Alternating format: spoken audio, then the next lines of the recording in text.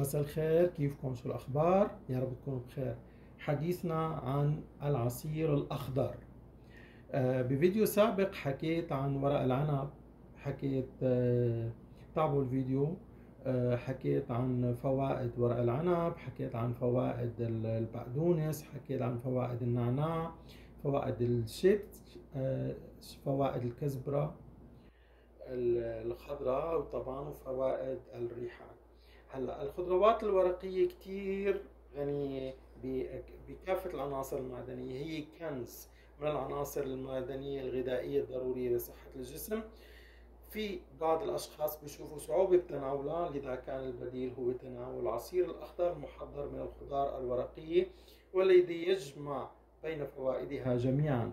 خلال السنوات الأخيرة أصبح هذا المشروب السحري بديلا للمشروبات الغازية العصائر المشروبات السكرية لكثير من المشاهير بعد اكتشاف مدى فوائده الصحية المتنوعة. أهم فوائد العصير الأخضر هو عصير منوع مصنوع من خلطة من حفنة من الفواكه والخضروات الورقية الغنية بالألياف مضادات الأكسدة والمغذيات النباتية. هلا عادة أنا هون رح أحط.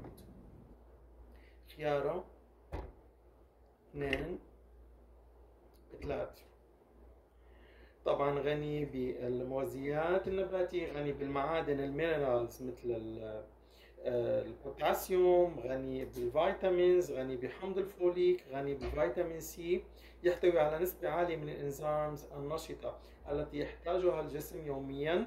هلأ عادة رح نحط تفاح أخضر آه، ما رح نحط نوع ثاني هلا انتبهوا هذه الموجودة هون مشان في وحدة تفلسفت علي كثير على آه، انستغرام في صفحة خاصة بس بالأغذية. أنا عندي تقريبا تسع صفحات ولكن كل وحدة آه، مختصة بمجال. فصارت تنقدني بعدين نحكي بفيديو لاحق. ولكن انتبهوا هذه مصنوعة من ألياف سيلولوز. ممكن تنهضم. لهيك أنا مشان إذا أنت عم تشوفي الفيديو أحطها أنا كاملة. عشان تفرحي وتقدري تشوفي مجال لتنقذي تمام؟ آه ممكن يؤكل وهي الورقة الثانية كمان مشان موجه إلك زيادة إلك. هدول ممكن يأكلوا ولكن انتبهوا من زيادة انتبهي علي أصباغ كمان لأنه نقدتيني على الأصباغ. بعدين بحكي عن الأصباغ اللي ما عرفتي تحكيها إلا بكلمة أصباغ. ما بتعرفي الفرق بين ال... باللغة العربية إنه الأصباغ أصبغة بحرف الغين وليس بحرف الخاء. فإذا أنا معلش رح ضيفها. أنتم لا تضيفوها بس أنا ضفتها. بنحكي أه هلأ من جوا أه من جوا لما كنت قطعه أكيد كنت قطعه التفاحة. هلأ البذور مختلف عليها أه مش رح أحكي عنها لأنه انحجب أه فيديو سابق كنت حاكي فيه عن أه هيك موضوع مش رح أحكي أنا بصراحة مشان ما ينحجب الفيديو. آه إذا هون أنا حطيت انتبهي إذا حابة تنقدي حطيتها لهي. آه حطيتهم أنا للقطعتها ما بحب رقم أربعة لهيك رح أقسم على تفاحة مينيموم خمس قطع. وهي كمان عم نحط تفاح أخضر رح أحط أنا تقريبا تفاحتين لحتى تزكي الطعمة. تمام؟ حتى تزكي الطعم رح أحط الثاني كمان. ومثل ما ذكرت يا يا مثل ما ذكرتك يا متابعتي آه طبعا أنا آه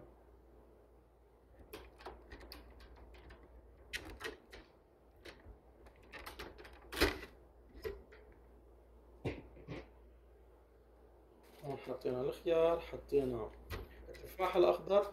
فينكم تحطوا كيوي؟ فينكم تحطوا أنواع الفواكه اللي بتتناسب مع هذا اللون بما إنه مسمينه عصير أخضر لغناه بالكلوروفيل.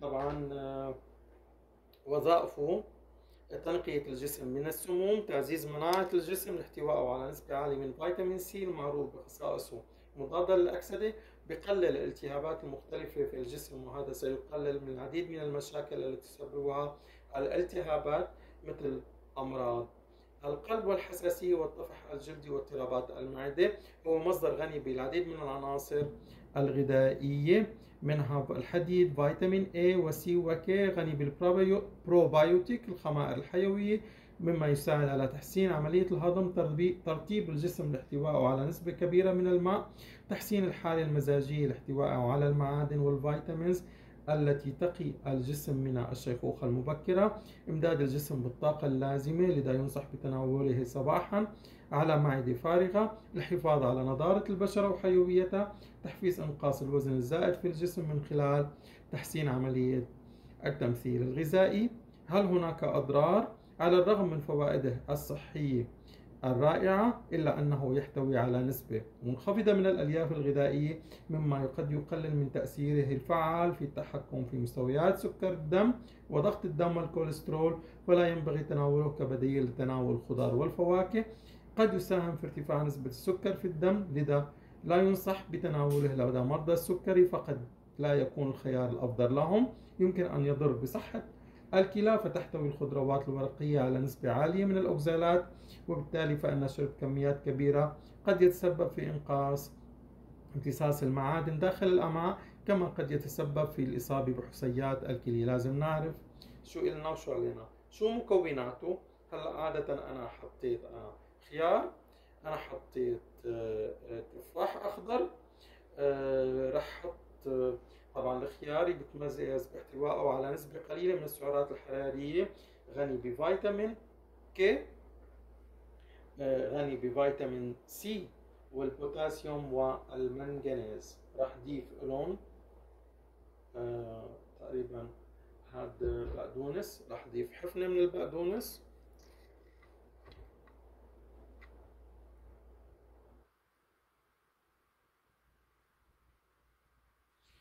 طبعا البقدونس غني بالمعادن الضرورية للجسم غني بالحديد. الفيتامينز مثل فيتامين A B B12 C وK مما يساعد على التحكم في ضغط الدم تقوية الكلى كما يساعد على تعزيز المناعة. اذا لنقلل من مخاطره. إذا قلنا حطوا بقدونس معه. سؤال هلأ ممكن تسألوني إياه. هل يمكن استخدام العصير الأخضر للمرأة الحامل؟ العصير الأخضر هو من الخيارات. المثالية للأم الحامل فهو يمد الجسم بالعديد من العناصر الغذائية اللازمة لصحتها وصحة جنينها كما أنه بديل مثالي لمشروبات الطاقة والمشروبات الغازية التي تحتوي على نسبة عالية من السكر مما يساعد على ضبط مستوى سكر الدم يضبط الضغط يمد الجسم بالطاقة يساعد على نمو الجنين بمعدل صحي لكن ينصح بعدم الإفراط في تناوله لتجنب المحتوى العالي من الاملاح الاوكزالات التي قد تضر بالكلى فينصح بتناولها بالنسبة للمرأة الحامل مرتين بالأسبوع. إذا المرأة الحامل ينصح فقط بتناوله مرتين بالأسبوع. هلا شو ممكن يساعد العصير الأخضر؟ العصير الأخضر مثل ما حكينا هذا الخليط من الخضروات والفواكه بإمكان الشخص تناول هذا العصير على وجبة الفطور أو كوجبة. خفيفة صحية مليئة بالفوائد له قدرة خارقة على التخلص من الوزن الزائد فعال في علاج مشاكل القولون الحفاظ على سلامته. يعتبر وسيلة آه، تخول الإنسان على الحصول على العديد من العناصر الغذائية. بالنسبة للشعر الأبيض شو صحة هذه المعلومة؟ طبعا تم اكتشاف العصير الأخضر 1970 من قبل كاتبة لها بعض الكتب المهمة حول الصحة بما في ذلك النظام الغذائي. لقد أطلق على العصير الأخضر لقب مشروب مشروب الطاقة. وكانت آه، مكتشفة هذا الشراب آه، لنقول اخترعته مش رح نقول اكتشفته يعني قد بدأت بتناوله عندما كانت في سن الخمسين ففي ذلك الوقت كان شعرها كله رماديا وفي فترة قصيرة تحول شعرها إلى اللون البني الذي كان لون. شعرها الأصلي وعندما أصبحت في الثمانين عمد تلامذتها إلى أخذ خصلة من شعرها للتأكد من عدم لجوءها إلى صباغة الشعر. وهنا أوضحت أن تحول لون الشعر يعود إلى نقص المعادن في الجسم أما عندما يكون الجسم قادرا على توفير هذه المعادن فما رح يصير الشيب أو رح يتأخر الشيب. هلأ آه، بالمجمل آه، رح أعمل شوفوا الفيديو اللي بعده وفي مكون واحد منهم بس رح أعمله أعمل الخلطة في تاني مرة. أتمنى آه، تشوفوا هذا الشيء. هون كمان حطيت آه، أوراق نعنع وحط حطيت أوراق نعنع وحطيت أوراق من الشبت وأوراق من الكزبره الخضراء من الأشياء اللي راح أضيفها كمان أكيد ضمن هذا الخليط راح تحطوا مي لأنه ما راح يزبط بدون مي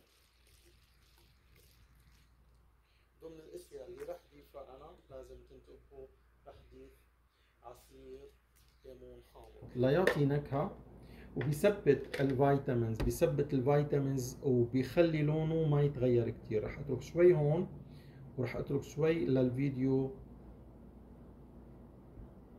اللي بعده. شوفوا شو آه، بالفيديو اللي بعده شو بدي أحكي عن مكون واحد من هذه المكونات وكيف ممكن تستخدموه بالنسبة للشعر الأبيض. هلأ رح نضربهم على الخلاط. هلا أنا بصراحة يعني بن... لا يعني تاخذوا شيء آه، إذا بدكم وجبة غنية بالألياف فحطوا صفوا. أنا بدي صفي. إذا آه سوري إذا بدكم وجبة غنية بالألياف ما تصفوا. أنا بصراحة بدي صفيه لأنه آه لا أقدر أقبل طعمته ولأنه رح أمشي عليه لفترة. رح نشوف شو ممكن يساعد الجسم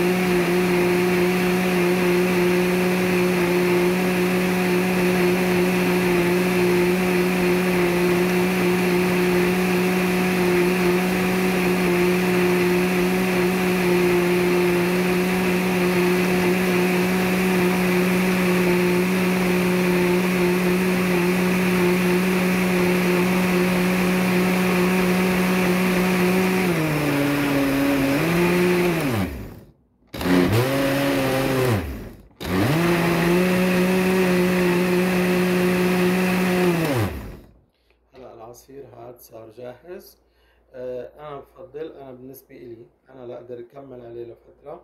ممكن من فترات لفترات ما صفيه ولكن آه، بدي أتعمد صفيه لاستذيق لأستسيغ وأتذوق طعمه أكثر. حاولوا أنتم ممكن تحطوا له سكر ستيفيا. أنا ممكن أحط له سكر ستيفيا. أول مرة بجربه. وراح أشوف أنا لاحقا آه، شو بده يأثر على ال shape تابعوني أنا من قبل وجهت competition آه، منافسة إنه خلينا نستخدم آه، الزعفران ك لتقوية النظر ولكن لازم يتخذ صبح مساء تقريبا على مدى ثلاثة شهور لست شهور آه، شراب الزعفران. صبح مساء عادة بالنسبة للمساء مشان ما نطلع من الموضوع ممكن يخليك شوي بيعطي طاقة هو بيعطيك energy طاقة فممكن ما تنام. تاخده قبل. آه، بالنسبة لهذا العصير إذا حدا بده يكتب لي بالتعليقات شو ملاحظاتكم عليه ممكن يكون في أشياء تانية موجودة فيه. أنا ضمن هذا الموضوع هيك حبيت آه، أبدأ فيه. ممكن تنوعوا فيه أنتو كل مرة. وقلت لكم أحد أسباب غناه هو اللون الأخضر الغني بالكلوروفيل بيساعد الجسم. طبعا في أشياء تانية ممكن نحكي عنها. حكيت عنها قبل وراح أرجع أحكي.